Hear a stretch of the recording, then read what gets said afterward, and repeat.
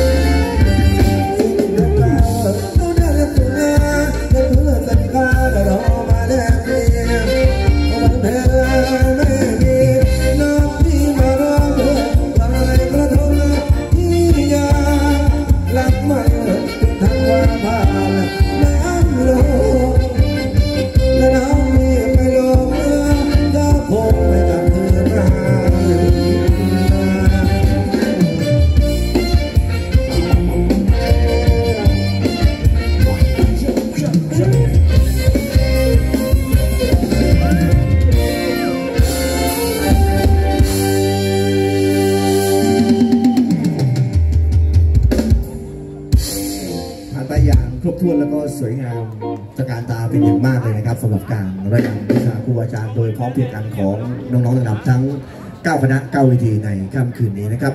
ลำดับนี้นะครับขออนุญาตยกด้านหน้าเวทีนะครับให้กับทางท่านเจ้าภาพนะครับเข้าสู่พิธีการของทางงานกันสักช่วงหนึ่งนะครับ เดี๋ยวหลังจากจบทางพิธีการด้านหน้าเวทีแล้ว จึงจะมีการจัดให้มีการรำวงแก้บนให้กับ